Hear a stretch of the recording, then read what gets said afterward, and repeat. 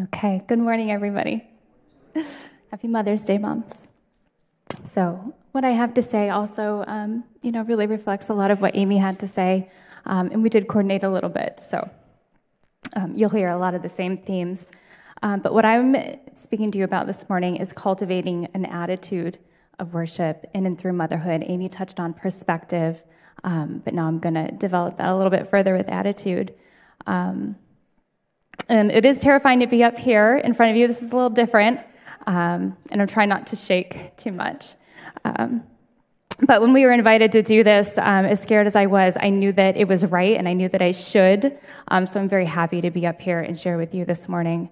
Um, and motherhood, maybe about the only thing that I'm qualified to speak on. So this is good. Um, and I want to share just a little bit of the beginning of my entrance into motherhood. I was very young and I was not prepared to become a mom when I did. Um, we had done everything that we could be. We had all the baby gear and all of that, and we were ready, of course. Um, but I'm going to move this back a little bit so it's in focus. Okay.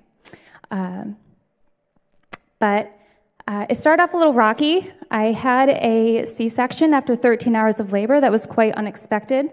And um, then we brought our daughter home. Um, this was 18 years ago, just so you know. Um, we brought her home, and she, I couldn't feed her, and uh, it was very frustrating. I was in a lot of pain, and there were a lot of tears, and it was all just very much a shock. Um, and here's what became obvious to me real quick in the first, you know, month or so of being a mom is that I wasn't ready to be needed all the time. Uh, yeah, I think you understand. And uh, I wasn't ready to give up control yet or to sacrifice resources, you know, money in a small budget when you're young. And uh, most of all, this is the hardest one to say, uh, is that I wasn't totally ready to give up um, completely of myself um, when I knew that I should be. And that I think brought on a lot of guilt when I was younger, um, as if I didn't have enough already. So I want to share with you um, three life and heart changing things that happen as we parent. And as Amy said, like what she shared with you, that was her testimony. And what I'm sharing with you today, this is also my testimony um, and what I've, I've seen uh, God do in my life over the years. Um, so we had two more babies. I have three children. They're 18, 15, and 13. So teenage moms, hey, I'm here for you. um, but um, the first thing that um, that we recognize um, that transforms us um, as we parent is that we recognize our own depravity and need for God as we parent. It exposes our selfish hearts and our attitude. Being a mom exposed me in ways that I could not believe or imagine. Uh, and I think it actually made me angry at times. I really wanted to look like I had it together as a young mom, and my image was very important to me. Uh, but eventually, I did have to come to terms with what was in my heart and hand it over to God. And it is still a continual process. Matthew 15, 18 says, but the words you speak come from the heart. That's what defiles you. My words were revealing what was hiding in my heart, and I began, through God, to recognize it as sin. So I've come to see that God designed parenting in such a way to be so integral in our daily lives, so nonstop, it seems, and essential, especially when they're younger, so that we can see more clearly our own strengths and weaknesses. It's a daily, hourly, and sometimes by the minute reminder of how much we clearly need Him for all the things love, joy, peace, patience, kindness, goodness, gentleness, and self control. Those sound familiar, right? So thank goodness that He sent the Holy Spirit to give us what we need in Him every day. In her book that I just started reading, I'm only in chapter one, but in the intro, it says, um, it's called Becoming Mom Strong by Heidi St. John. She says, Mothers are always in the process of becoming. God uses motherhood to shape and strengthen us as part of the process of becoming more like Jesus. Everything God does carries kingdom significance. There's no better place to experience that than in raising a family. It's so true, right? So here's our second life transforming experience as we parent. We surrender to God that we do not have it together. I know Amy shared that. And we invite Him into our daily lives, including motherhood and how we parent. We learn to depend. So I sort of favor David in the Old Testament. And I think the reason why is because I feel like I can relate to him a little more. And David clearly loved God, but his life was messy. He was a blatant sinner, but he found his way back to God and he poured forth beautiful, heartfelt, honest worship. He discovered what God truly desires from us, and he writes about it in Psalms. Psalm 51:16 says, "You do not desire sacrifice, or I would offer one. You do not want a burnt offering. The sacrifice you desire is a broken spirit. You will not reject a broken and repentant heart, O God."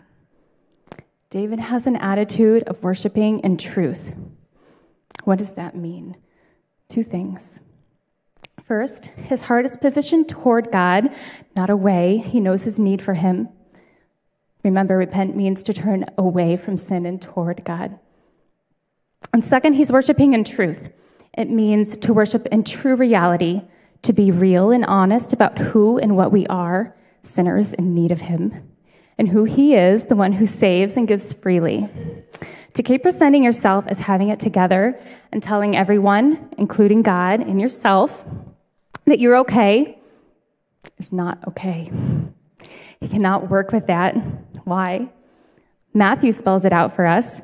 When Jesus, who was talking about the Pharisees, who very much had it all together on the outside, Jesus says, These people honor me with their lips, but their hearts are far from me. They worship me in vain. Their teachings are but rules taught by man. Sometimes we do that, don't we?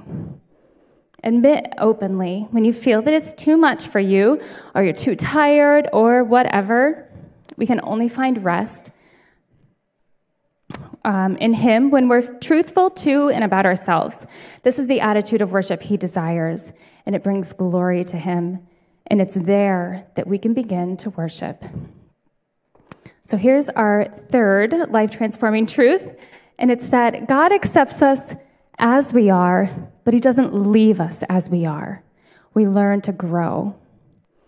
So God works in us, He parents us to become more like Him, to glorify Him in our daily walk with Him, and in, in how we parent. So not only do we benefit this, but so do our children. Amy got to share that so beautifully. There's countless, um, I'm going to call them opportunities. I think that's the nice way to say it, to teach our children life lessons. Um, and each one is also a lesson from God in how He loves us. He forgives, He shows compassion, He disciplines, He does not remove consequences. He loves sacrificially and He gives generously. He is faithful. God is our perfect parent making us more like Him as we get to parent. It's there that we can begin to see that it is all for our benefit and for His glory. As we grow up in the Lord, our attitude shifts. Um, in my case, I've calmed down quite a bit uh, with my kids, and I only occasionally need to pull out the mom card, which is great. Um, and in closing, I want to touch on attitude specifically for a minute. Um, we looked at it um, in Ephesians last week, and here it is again. So here's four ways how we are able to develop a loving, sacrificial, and worshipful attitude as we parent. First is we're able to worship Him when we willingly sacrifice our time for the good of our kids. I could go on and on with examples of this. I mean, it is time intensive with uh, kids who are still at home. Second, we are able to worship Him when we give up control of situations and pray to Him and seek His guidance instead of our own quick answers. Man, you guys, I spend um, every Tuesday morning with women in Bible study here at the church, and I hear this every week. This, this doesn't go away. Moms have a lot that we carry. Um, and it's, it's, we, it's close to our hearts. This is, we have a lot of concerns. Third, we're able to worship Him when we give of our resources to provide for our children's wants and needs. And that can be difficult, um, but it's very important. And last, we're able to worship Him when we give of ourselves sacrificially, especially when it goes against what our hearts are wandering towards. Motherhood as an act of worship position, positions us to develop an attitude of less of me, more of Him. We can better recognize our limits and hand over to Him who we are and who He's having us become. So, Ephesians 5 1 through 2, we read this last week, but uh, we're going to look at it again. It says, Be imitators of God, therefore, as dearly loved children, and live a life of love, just as Christ loved us and gave himself up for us as a fragrant offering and sacrifice to God. Aren't you glad that we have Jesus who is able to live perfectly on our behalf and provides the example that we need for living every day? Um, I love that because he was loving first, it made a way for us to love on others. We will fail as parents sometimes. Um, man, even our best will still fall short, but we can look at our failed opportunities as how much we need to be dependent on Him.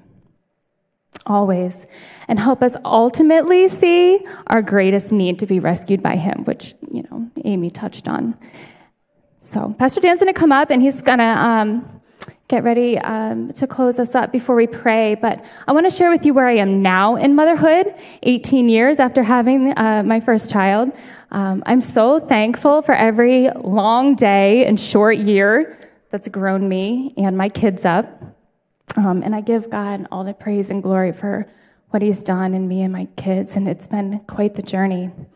Um, now my daughter, she's um, she's a senior. She's getting ready to graduate. She's going to go off on her own in the fall, um, and it's it's it's starting to throw me. Um, I know it's coming, but um, I'm not ready for it, and it's going to be one of my biggest challenges and um, hopefully opportunities to grow.